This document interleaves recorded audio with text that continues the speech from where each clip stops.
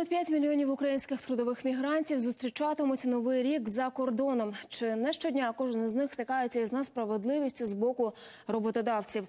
Захистити права працівників взялися в парламенті. Відповідний законопроект можуть розглянути одразу після свят. Про що саме йдеться у документі, знає Олена Зоріна. Здесь обе. Вот так. И переехали обе. Він поїхав на заробітки до Німеччини, але замість грошей привіз купу проблем. Аліса Ледінов до невеличкого шахтарського містечка Марганець уже за місяць повернувся з порваними зв'язками на обох ногах. Нещасний випадок на виробництві, але чоловік упевнений, усе підлаштували. Сзади, я не ожидал просто, догоняет меня кара, груженная э, ящиками этими. И сбивает удар сзади по Ахилловым, наезжает на меня и до самых колен. Проблеми почалися ще в Україні, коли звернувся до фірми, яка обіцяла роботу. Заплатив посередникам 1200 євро та замість візи отримав дві відмови. І гроші фірма не повернула. И они пообещали э, в течение двух месяцев отправить меня за границу. То есть у меня минус 600 евро, 5 месяцев я просидел и у баба у разбитого корыта. Посередники запропонували інший варіант, менш легальний, але, як запевняли, більш надійний.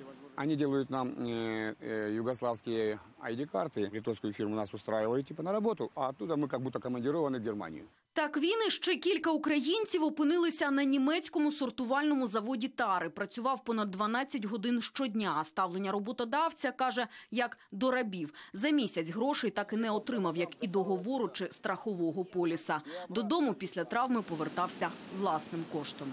Сотні випадків, коли компанії, отримавши ліцензію Мінсоцполітики, спокійно ошукували людей, а потім зникали. Беруть від 100 доларів до 3-5 тисяч доларів. Історія Аліни виняток, а лише доповнення сумної статистики підтверджують представники профспілок. І зі своєю проблемою мігрант, як правило, лишається сам на сам. Практически каждый трудовой мигрант сталкивается с нарушением своих прав в Европе, начиная от э, там, невыплаты заработной платы, заканчивая какими-то унижениями, принуждениями. Фірми-посередники процвітають за ваші гроші, ладні відправити в будь-яку точку світу. Ось сайт однієї з таких агенцій. Робота у Швеції, Польщі, Німеччині та інших країнах. Пропозицій повно. Я намагаюся працевлаштуватися в Ізраїль.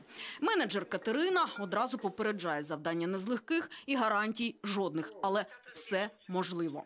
въезжаете туда как турист, оформляете статус беженца. То есть по статусу беженца будете иметь право находиться на территории страны, но не работать. То есть работать вы при этом будете неофициально. 12 тысяч гривен. Это не туристическая, это туристическая путевка, не виза. Та головне пройти кордон. Як це зробити, обіцяє навчити так само по телефону. А про самі вакансії каже, дізнаюся вже на місці, тобто в Ізраїлі. Саме проста схема запропонувати українцям роботу за кордоном, якої не існує, заробітню плату, яку українець там не зможе отримувати. І звісно, пропонують роботу в країнах, куди українці взагалі не можуть потрапити працевлаштування в Норвегії, Фінляндії, в Нідерландах. Аби не бути ошуканими, в асоціації пропонують захистити права трудових мігрантів. Відповідний законопроект уже зареєстрований у парламенті. Насамперед кажуть, треба навести лад із компаніями-посередниками, які відправляють людей на роботу. Ринок відкрити для всіх, але правила гри змінити, аби ті не заробляли лише на обіцянках. Відмінити ліцензію, е, максимально спростивши вихід на цей ринок того бізнесу, який хоче тут заробляти гроші, і при цьому заборонити компаніям-посередникам брати гроші з українців при працевлаштуванні за кордон в усьому світі за працевлаштування. За послуги компаній по працевлаштуванню сплачують саме роботодавці, У профспілках упевнені, це гарантій заробітчанам не додасть, ба більше кажуть, законопроект скасує відповідальність фірм посередників. До проблеми варто підходити більш комплексно, приміром, запровадити спеціальну програму на державному рівні. В этой законодательной инициативе под очень красивым названием «Защита прав трудовых мигрантов», мигрантов, ну, ни слова нету о самой защите трудовых мигрантов. Там есть о смене условий лицензирования, э, о штрафах для агентств. Это все связано с возможным переделком рынка. Дискусія у парламенті щодо законопроекту може розпочатися вже після нового року. Але українці з правами чи без і далі рвуться працювати у Європу. Про це свідчать дані останніх соцопитувань. 60% молоді у віці 18-29 років готові або хотіли би поїхати на заробітки за кордон.